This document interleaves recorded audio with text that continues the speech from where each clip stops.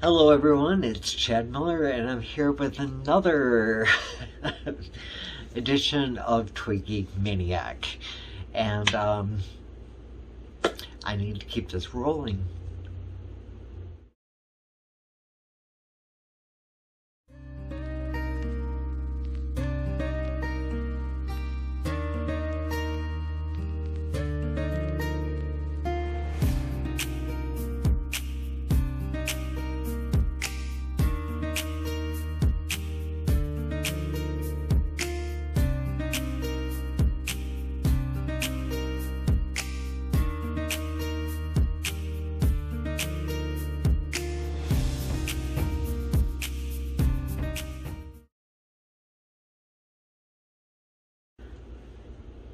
So as of right now, my studio area is quite a mess because of um, not only the purchases that I've made for my collection, but the many wonderful gifts that all of you subscribers out there have been sending me.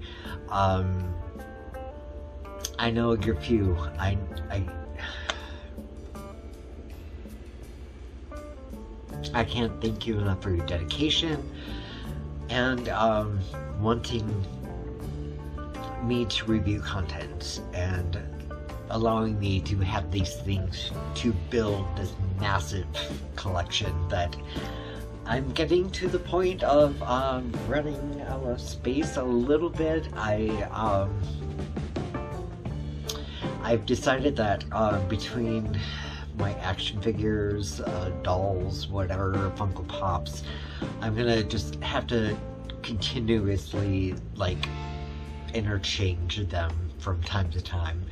Um, I love things that I receive from you guys. Don't ever get me wrong on that. I appreciate that to an nth degree. Um, so, um, still, I've got so many things that I still have to, to work on. But anyways, so, um, on to uh, the next uh, gift that I received from a scriber. Um,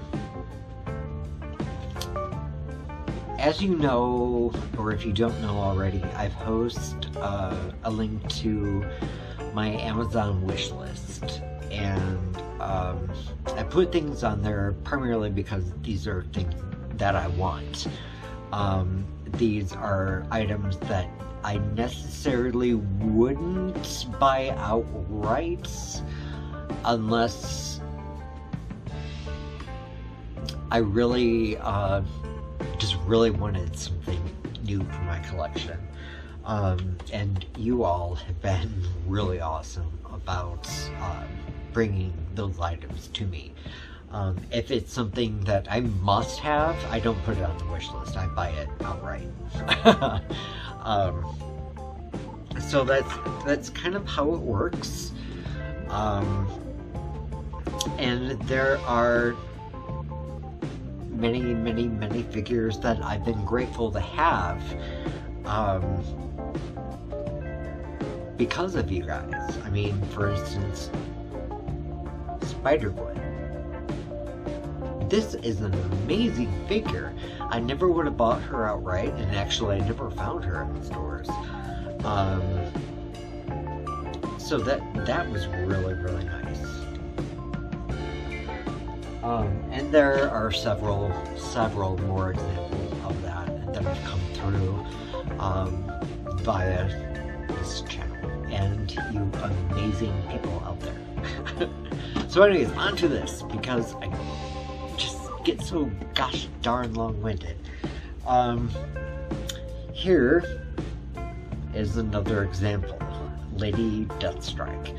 Yes, I would love to have this figure. I probably wouldn't buy it outright if I saw it in stores, unless I was down to like a, I really want something new.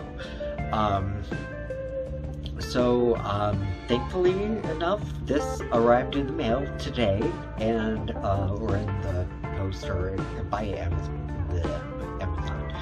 Um, so um, I'm gonna crack into this and kind of uh, give you a little bit of history on how I feel about this character and what this actually does mean to me. Okay, so we have a Marvel Legends of Lady Deathstrike now, and this is uh, very interesting to me because I've in the comics, I've never found her to be very fascinating. I, I felt that she was a cheap knockoff, um, just another villain to go against Wolverine, who already has a rogues gallery larger than Batman. Um, and they all had the same intention. the one thing that um, did fascinate me a little bit was her portrayal in the X-Men animated series in the 1990s. It, it kind of brought a little bit of a depth to her that made me feel um, a little bit better about her, but it was more because of the animated aesthetic that they gave her. And um, kind of interesting because in uh, recent viewings, um, or actually, oh no, it was the book that I bought about uh, the making of the animated series where they uh, did leave uh, her cleavage accessible on some uh, shots of the show, and then other ones in which they had it covered up. Um, and it's fascinating uh, thinking about that and seeing that she does actually have cleavage um, and also showing the cybernetics that are entwined within her as far as um, whatever adamantium that she has in her body. Alright, so Yuriko Oyama is the name of character's, uh, well, her actual name. Um, upon, I'm trying to get as close as I can without getting too blurry. Okay, come on.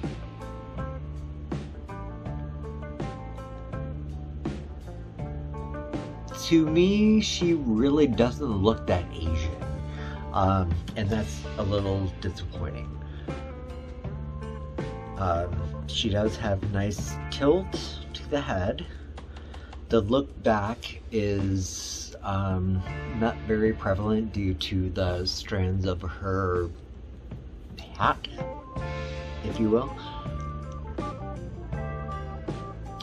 The look forward is okay. It's clearly 360.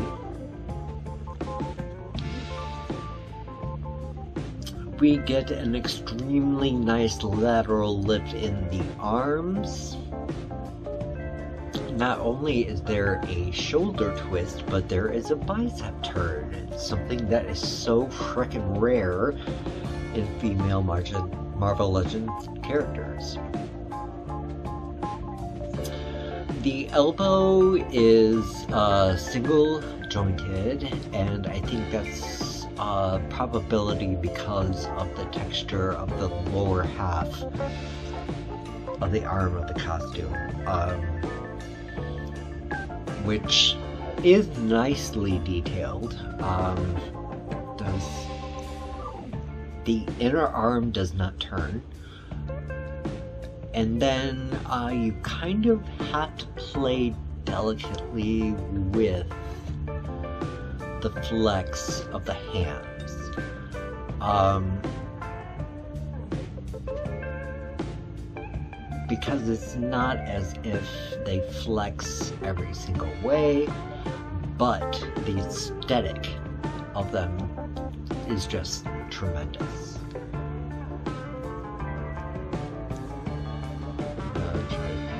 this one for a little bit as well. Um, her claws, or her nails, I should say, are adamantium, um, like Wolverine's claws. Um,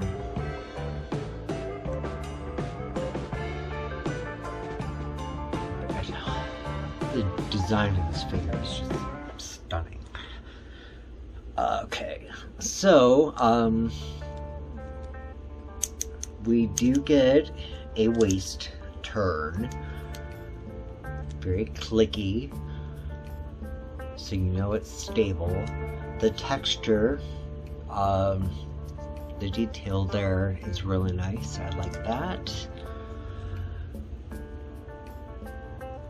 Lateral lift on the legs is actually a bit of an improvement uh, based on other figures.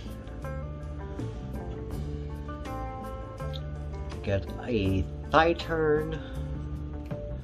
There is a multifunctional double jointed knee. No boot turn, which is fine, she doesn't need it. Flex forward on the foot, yeah. Flex back, a lot better. And when you locate the pivot, it is there. Um, so overall, I've never, ever, ever, ever been a fan of Lady Deathstrike by any means. Aside, you know, just the interpretation that they gave her in the 90s animated series was nice. I, I, I mean, as hokey as a cartoon kids show can be. Um, I appreciated that. Uh, her character in X-Men 2, very, very, very undervalued. And um, to a degree overplayed based on her nails. I mean, uh, it is what it is. But this figure, um, whether I like this character or not, this is a stunning stunning figure. Um, th this is one that I'm sure to have displayed consistently.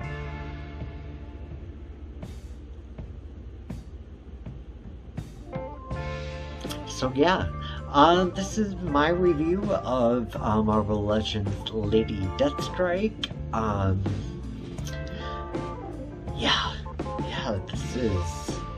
It, it,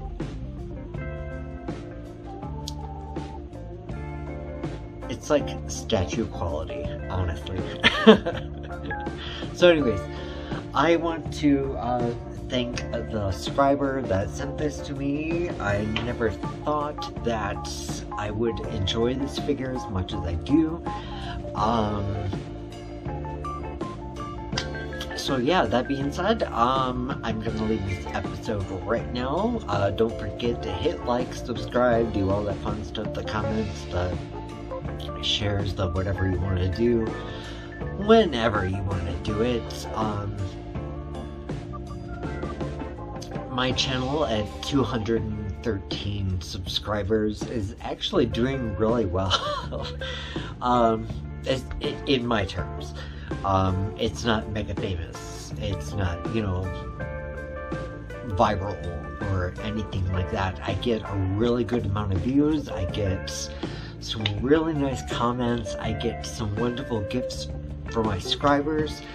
Um, the fame, the whatever it is, the monetization that comes along with all this doesn't really mean anything to me. I just want to provide good content and uh, show appreciation to those who are actually watching. So, with that being said, love and light to you all.